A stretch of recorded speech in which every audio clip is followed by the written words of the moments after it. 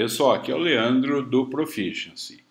Você está dentro deste avião voando de Washington para Los Angeles. Você está voando de primeiríssima classe. O capitão vai dar três avisos. Será que você entende os três? Vamos ver? Um. This is your captain speaking. This is your captain speaking. 2.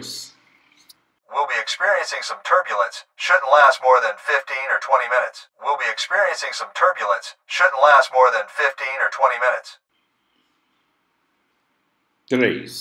We've been cleared for landing. We've been cleared for landing.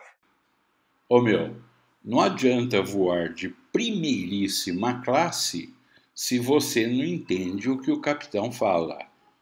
Tá passando da hora de fazer proficiency. Leandro, coordenador do Proficiency.